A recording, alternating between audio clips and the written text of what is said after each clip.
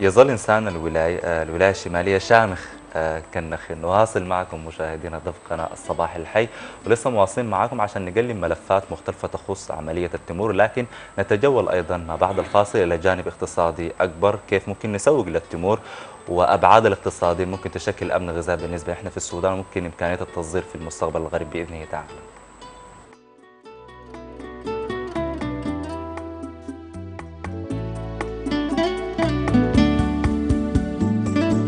أشجار النخيل هبة الشمال ورمز البقاء والشموخ لأكثر من ثلاثة آلاف عام. يجسد وجودها معنى الارتباط والحب. إنسان الشمال وبطبعه ميال للجمال والطبيعة حيث تمثل أشجار النخيل كل تلك المعاني والتفاصيل.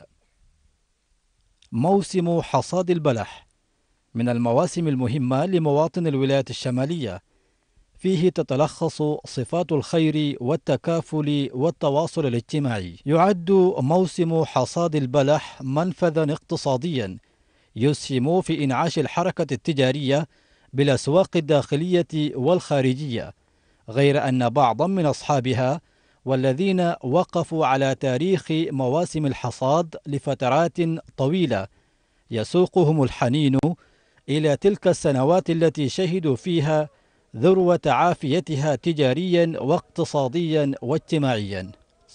شجرة النخيل من الأشجار التي لا يمكن الاستغناء عن أي جزء من أجزائها. والبلح على ذات القدر يحمل العديد من الفوائد والأنواع التي تحمل أسماء يحفظ لها الناس الجميل والعرفان والتقدير لكونه يسهم في دخل المواطن بأكثر من 80% ليسجل بذلك رقما اقتصاديا لا يمكن تجاوزه. ارتبط الإنسان بالنخيل وجدانيا فظل يشملها بالسقيا والرعاية كما ارتبط به الأجداد والآباء. تجمعهم في ذلك القيمة الجمالية والغذائية ورمزية المكان والانتماء حيث تطورت أشجار النخيل بتطور المنتجات حتى صارت تواكب عجلة التقدم في هذا المجال. تتوافد الأسر من كل الأصقاع البعيدة لحضور موسم الحصاد. باعتباره يمثل فرحة تتداعى لها القلوب والأجساد. ويسعد الأطفال والكبار بهذه المناسبة الأسرية التي تجتمع عندها أفراد الأسرة في هذا الوقت من كل عام.